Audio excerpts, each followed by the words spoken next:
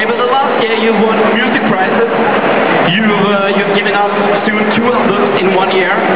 You earn a lot of money. You become rich, and let's not even start to talk about the women. Has it all been good?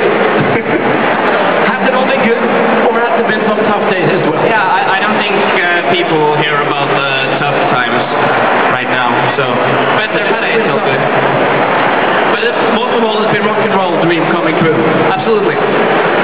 That's something to look forward for. Um, but the last thing, what will be your advice to the winner of the Eurovision Song Contest 2010? I know. Um, except to say um, no to things sometimes. Okay, remember to say no. Or yes. I mean, whatever suits you. Okay. Okay.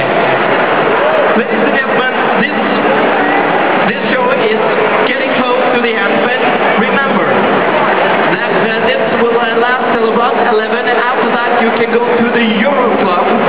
It's just around the corner, and your delegation host will gladly guide you to the Euro Club, just around the corner.